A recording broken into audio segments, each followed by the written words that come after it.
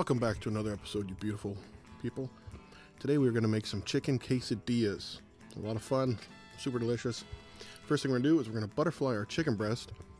Is mostly just so they cook a lot quicker. This is all about fast, quick, easy meals, feed the family. You know, come home from work, you don't get a lot of time. Once again, we go with our Swiss Army knife of seasoning, the Goya. Get yourself a box. If you don't have a box of this in your kitchen, you're wasting your time. This stuff is fantastic. And of course, garlic, because it's part of our DNA here. We just garlic on everything. And some of that Lawry seasoning salt. Once you get them all seasoned up, you'll enjoy that sizzle.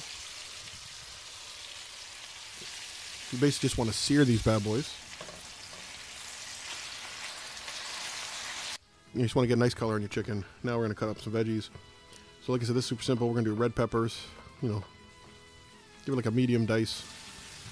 Then of course some uh, some onion because uh, we love onion also. Onion's got great flavor. Once again, you don't want to cut them up too fine. Nice little chunks. We're to give it a quick saute. And also, once again, as you suspected, garlic.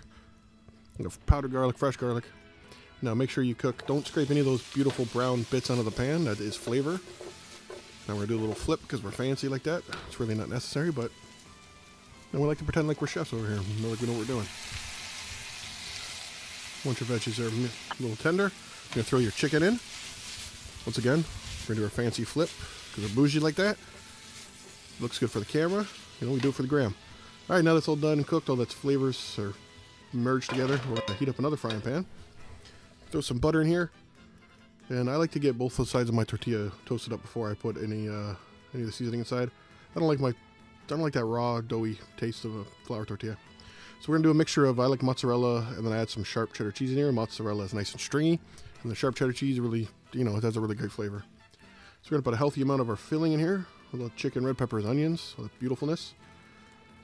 Throw that in there. And then we're to put some more cheese on top of it because we are worth it.